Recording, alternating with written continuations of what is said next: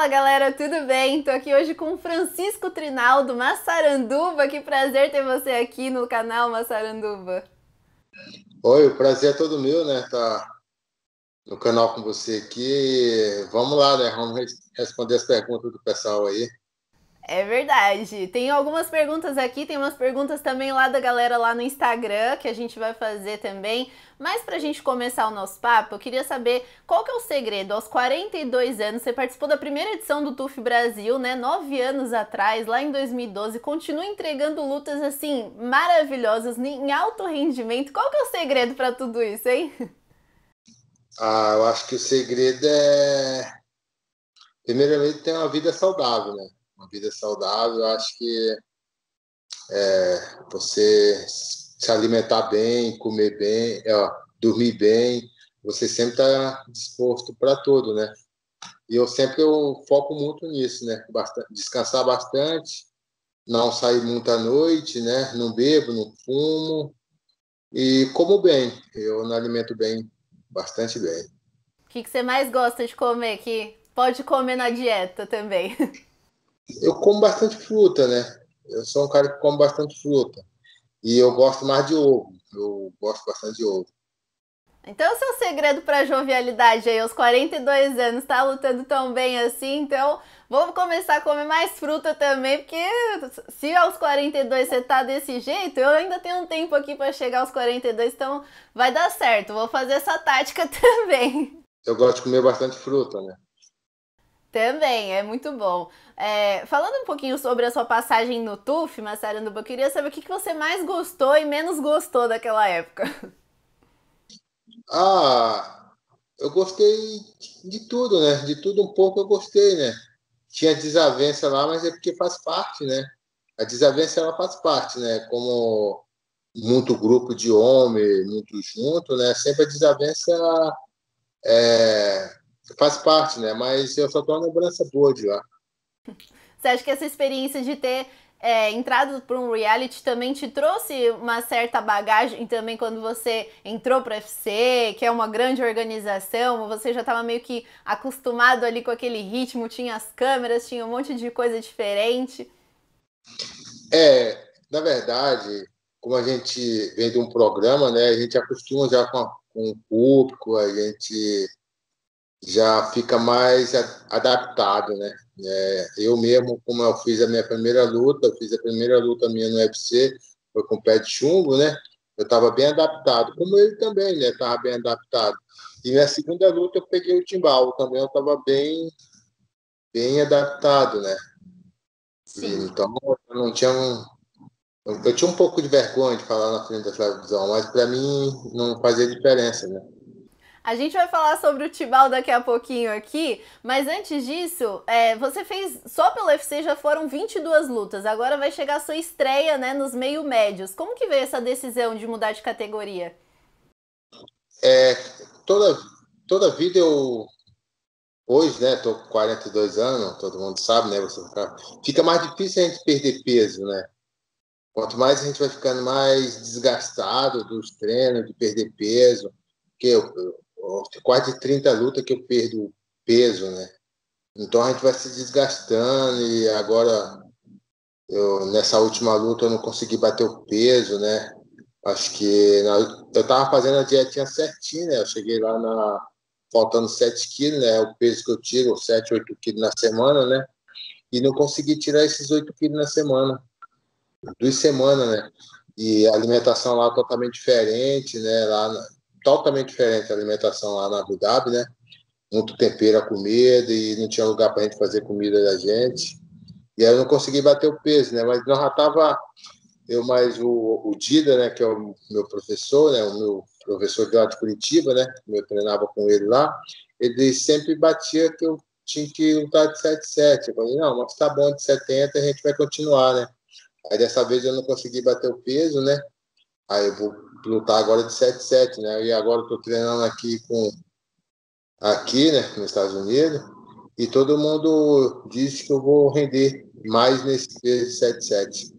E como que tá seu treinamento agora para essa categoria nova? Você já está sentindo alguma mudança, alguma diferença? É, toda vida eu treinei com os caras mais fortes, mais pesados, né? E nunca senti diferença, né? Mas aqui os caras são mais grep, né? Aqui os caras são mais da, do grep, né? Então aqui eu vejo a diferença de força, né? Mas eu treino com ele igual por igual, né? E, então eu quero ver a minha estreia, como é que vai ser, né? A gente também tá ansioso. Como que vê essa mudança para American Top Team, né? Você tá na Flórida, tá se adaptando ainda? Como é que foi essa decisão também de sair do Brasil? É, já tem cinco meses que eu tô aqui na American Top Team, né? Eu vim para cá, depois da minha luta eu vim para cá, fiz uns treinos aqui, né? Passei um mês e pouco, quase dois meses aqui, aí voltei para o Brasil. Aí, dia 5 de dezembro, eu voltei para cá de novo. Aí eu comecei a treinar, né? Tava pedindo luta, mas eu estou bem adaptado aqui. Já adaptei, conheço os professores tudo, né? Tenho intimidade com os professores e, pô, tô bem adaptado. Um companheiro de treino seu aí da American Top Team, você já conhecia há bastante tempo, que é o Renato Moicano, né? Como que foi reencontrá-lo agora? Pois é, como eu, antes de eu vir para cá, eu tinha falado para eles, né? Pro, pro Moicano, pro Miquim, né? Miquim vai lutar quarta-feira agora, né? Sim. Fazer uma grande. Todo mundo na torcida aí pelo Miquim aí no Brasil aí, né? Com certeza.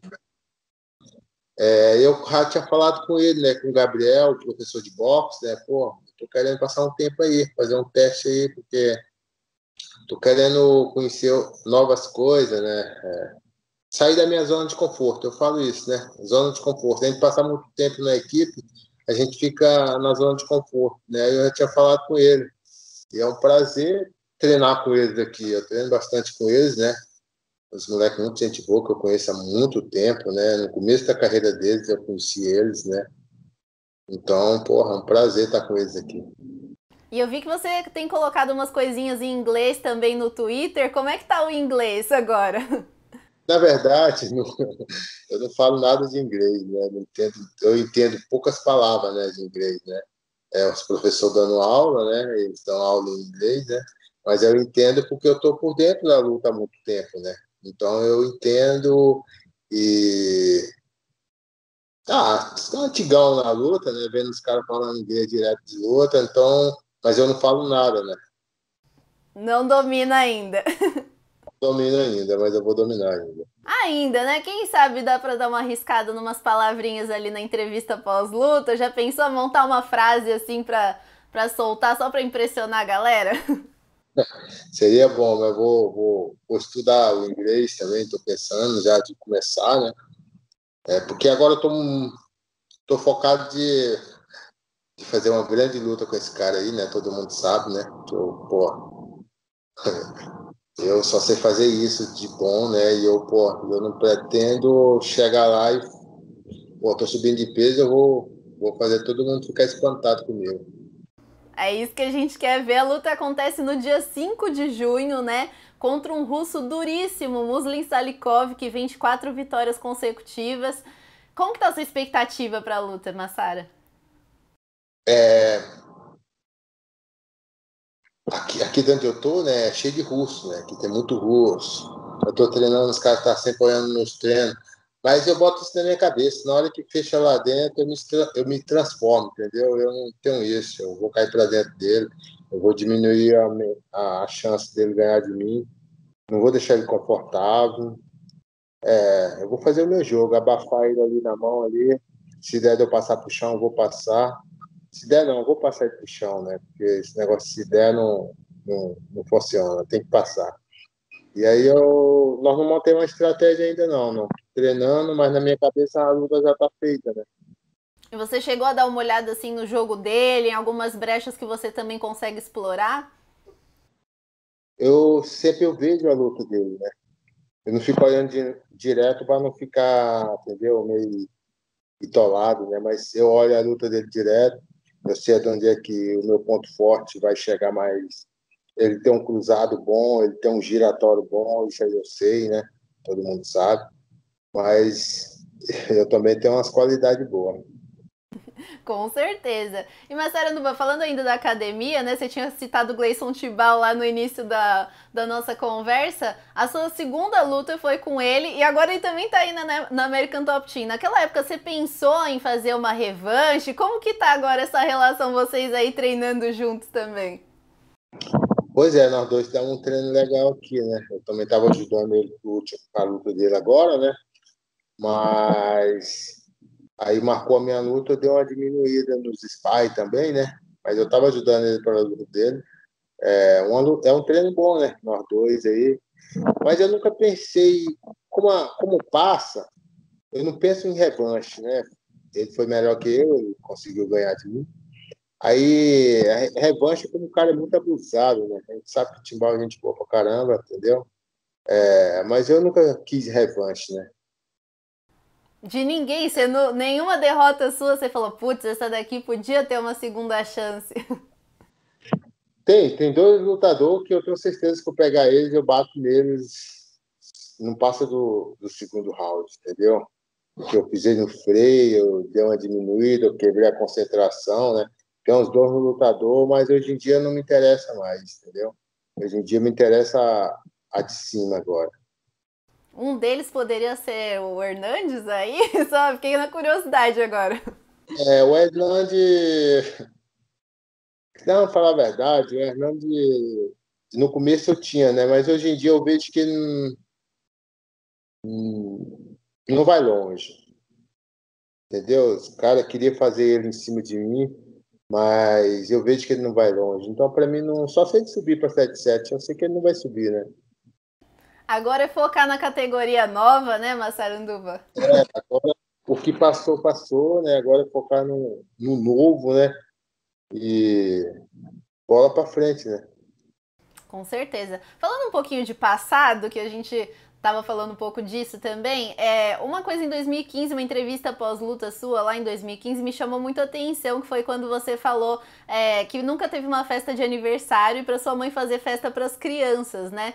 É, como foi sua infância? Ah, minha infância foi uma das melhores infâncias do mundo, entendeu? Eu brincava bastante, eu, eu, tinha, minha, eu tinha minha obrigação, né? Hoje o jovem, a, a, o jovem hoje não tem obrigação nenhuma, né? Acho que não tem obrigação nenhuma hoje o jovem, as coisas estão mais fáceis, né? Mas eu tive uma infância muito boa, né? Eu trabalhava de segunda a sexta, mas eu tinha meus tempos para brincar, eu tinha eu tinha minha diversão com meus irmãos, com meus amigos. Eu sou um dos caras que tem bastante amigos lá na minha cidade da, de infância, né? Então eu tive muita diversão, mas só que toda a vida eu tinha que trabalhar, né? Porque minha família, meu pai mesmo botava a gente para trabalhar. Tinha esse negócio de idade, né? E eu agradeço ele bastante, né? Porque só assim eu virei um, um homem de bem. Com quantos anos você começou a trabalhar? Ah, eu comecei a trabalhar com oito anos de idade, né? Oito, oito anos de idade eu ia para a roça para fazer comida com meu pai, né?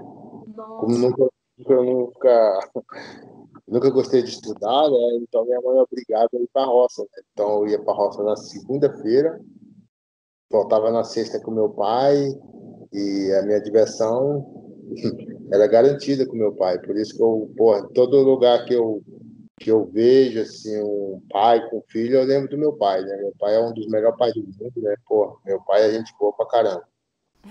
Você sente falta deles agora, dos seus pais, da sua família, estando aí nos Estados Unidos?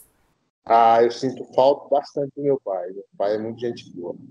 A minha mãe também, né? Mas eu sou mais apegado com meu pai. E teve algo assim na sua infância que você não conseguiu na época, mas hoje você pode proporcionar tanto para sua família, ou às vezes para você mesmo, por conta das, das condições que estão melhores, assim? O meu, o, o meu, eu sempre fui um cara trabalhador, né? Meu pai sempre botou para trabalhar e eu trabalhava para caramba. O meu maior desilusão foi uma vez que eu trabalhei um ano para comprar uma bicicleta e meu pai adoeceu, eu tive que gastar com ele. Ah, mas, pô, mas eu tive muita felicidade com meus irmãos. Mas a bicicleta ficou no sonho, então? No sonho. Mas, Saranduba, você fala né, que você é um homem que nasceu para bater em outro homem. Aos 42 anos, você já planeja o seu futuro? O que, que vai ser daqui para frente? bater, no, bater em outro. um dia eu tô entrando no octógono para bater em outro homem aí, né? Não, mas até agora eu não penso de parar, né? Eu não penso de parar, que eu tô treinando bem pra caramba, eu tô na disposição, né? E eu peço a Deus para não ter lesão, que lesão, eu acho que a lesão, ela não tem o que fazer. Você teve lesão depois da, da necessidade, você tem que saber treinar também, né? Não fazer todo o treino duro, né? Eu gosto de treinar pra caramba, eu gosto de treinar duro, eu gosto de fazer sparring, né? Aqui eu, eu fazia sparring três vezes por semana aqui, né? Aí o, o mestre Kona começou a me proibir fazer sparring, entendeu? É, ele tá certo, né? Eu que tô errado, né? Porque eu gosto de fazer, né? Mas é, depois da certa idade, levar muita pancada, ficar... aí que vem a lesão, né? Então, estou me cuidando mais, fazendo mais drill. E eu, na hora que eu entrar na octógono, eu sei o que, que, eu vou fazer. Então, não preciso todo dia fazer sparring, né? Três vezes por semana. Mas eu não pretendo me aposentar agora. Os caras vão ter que me aturar bastante ainda. Até você tinha colocado no Twitter esses dias. Acho que foi uma forma meio que desabafo ali, que você falou que os caras mais novos têm medo de perder para você, que é um cara mais velho. Até que ponto você acha que a idade atrapalha nesse casamento de luta dos caras falam, ih, Massaranduba? Não, não vou não. Pois é, né? Eu, eu, acho que é isso aí também, né? Eu acho não, tenho certeza, né? É, como chega um moleque novo aí que quer lançar ele, Aí eles botam comigo, né? Mas os caras que tem bastante luta no UFC não querem lutar comigo. É, o próprio mesmo Serrone, o Diego Sanches, esses caras aí, eu não, eu não falo medo, né? Porque como é, a gente tem a cabeça blindada, a gente não tem medo do outro, né? A gente só não quer pegar um cara duro, né? Mas no caminho, podendo pegar um caminho mais fácil pegar um caminho mais difícil. Entendeu? Uhum. E como você vê seu caminho agora na 77? Ah, é igual o Marcelo Alonso falou, né? Tem muito veterano nessa né? agora aí nessa. Pô, subiu mais um veterano, né? Agora eu acho que podia casar essa luta de veterano com veterano, os caras, entendeu? Eu agora eu quero fazer a minha vida, né? Quero, pô, lutar três, quatro vezes no ano aí. E aí vai, né? Você pensa no título? Não, eu não penso no título mais. Eu, penso em fazer lutas boas, entendeu? Eu quero fazer as, as melhores lutas da noite. Eu quero. Eu quero sair na mão com os caras, entendeu? Eu quero fazer boas lutas, eu quero. Eu quero dar pro público que ele gosta. Com certeza. E o público gosta muito de você, né? Talvez pelo seu jeito sincero de ser, você é muito verdadeiro nas suas palavras. Como, o que, que, você acha que cativou a galera, assim, os fãs? Por que, que eles gostam tanto de você? No começo eu falava as coisas sem pensar, né? Assim, porra. Aí eu falava as coisas sem pensar e os cara, o pessoal gostava, né? Aí a palavra eu falava, né? Hoje em dia eu seguro mais um pouco as palavras, né? Mas eu acho que o brasileiro ele gosta da sinceridade entendeu? Você ser sincero, entendeu? É, tem uns caras que faz texto, faz um texto para poder falar. Eu não, eu falo o que vem na cabeça. Só que aí eu tô, eu falo o que vem na cabeça, mas tem palavra que eu vou para falar e não falo, entendeu? Feio. Massaranduba, o que, que você acha do trash talk? Que hoje é muito usado, né? Uma estratégia, mas a galera meio que monta texto, é o que você falou, né? Às vezes não sai ali na sinceridade. O que, que você acha dessa galera que usa disso também para desestabilizar o adversário? Ah, é bom para uns, né? É, eu acho que tem que ter isso, né? Eu acho que tem que ter isso, mas eu não, não consigo ser assim, entendeu? Eu não consigo. Eu sou um cara sincero. É, na pesagem, eu não, não, toco no cara, eu só faço o que tem que fazer mesmo, olhar no olho dele, fechar minha mão. Mas eu não, eu não tenho muito isso de ficar provocando o meu adversário. É verdade. Massara, para a gente encerrar aqui o nosso papo, quero encerrar com uma curiosidade. Da onde que veio esse apelido Massaranduba? Quem que deu esse apelido para você? Quem me deu esse apelido de Massaranduba foi um professor meu, um, meu primeiro professor de kickbox, né? Lá em Brasília, é, eu jogava futebol, né? E aí eu comecei a treinar com ele, mas aí eu não é que eu chegava atrasado, né? Eu trabalhava de dia Eu trabalhava em construção civil nessa época e treinava com ele. Aí eu não fazia aquecimento, né? Eu passava o dia todo trabalhando em obra para fazer aquecimento, aí eu ia direto para fazer sparring, né? Ele começou. Pô, o cara só quer saber de meter porrada, aí começou a me chamar de Massarandu, botar esse apelido. E no começo eu não gostava, né? Acho que por isso que pegou. É sempre assim, né? Foi o Samurai, né? O aí, né? Que botou esse apelido em mim. que demais. E aí, e aí pegou, né? É, o apelido que a gente não gosta é o que pega mesmo, né? Pega, né? Mas, Sara, quero te agradecer por esse papo. Muito obrigada, uma ótima luta. A gente vai estar de olho no dia 5 de julho em você, que você traga a vitória e faça uma grande estreia na nova categoria. Pois é, com, com certeza eu vou fazer uma grande luta com ele, né? Eu espero que esteja treinando bastante. Eu, é, eu sei que ele está treinando bastante. Eu treino sempre com russo agora, aqui, né? Agora eu parei de treinar com russo, né? Aí eu treino só com os americanos ou brasileiros, né? Mas aí eu sei que eles treinam bastante também, eles é igual a gente, né? Eles é raçudo. E, mas eu tenho uma grande chance de nocautear ele. Entendeu? Ele joga uns cruzados muito fortes, né? Mas eu posso chegar primeiro que esse cruzado dele e posso passar ele pro chão também. Então vai ser uma luta muito pareia, né? Vai ser uma luta muito boa. Quem ganha é, quem lutar mais inteligente. Eu vou lutar para abafar ele, né? Vou fazer igual o Facia de 70 quilos. E a grande diferença dos caras é que acham que, como eu estou subindo, eu vou fugir deles. Eu não vou fugir, eu não fujo de ninguém, entendeu? Vou cair para dentro dele eu espero nocautear ele no segundo round ali. E se ele vir para dentro de mim, é, com certeza vai ser nocaute. Então eu estou pedindo a torcida de todo mundo aí que dia 5 a gente vai estar junto aí com todo mundo aí e a minha mão vai estar levantada no final. Com certeza. Massara, muito obrigada. Valeu mesmo. Estaremos de olho na sua luta.